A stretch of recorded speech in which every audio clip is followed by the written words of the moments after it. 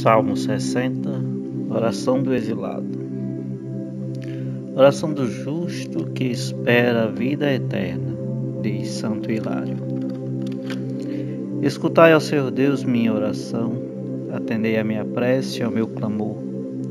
Dos confins do universo a vós eu clamo, e em mim o coração já desfalece.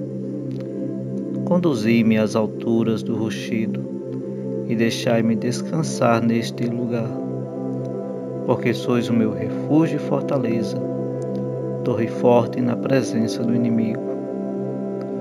Quem me dera morar sempre em vossa casa e abrigar-me a proteção de vossas asas, pois ouvistes, ó Senhor, minhas promessas e me fizestes tomar parte em vossa herança.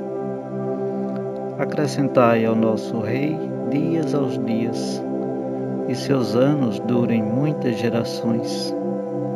Reine sempre na presença do Senhor. Vossa verdade e vossa graça o conservem. Então sempre cantarei o vosso nome e cumprirei minhas promessas dia a dia.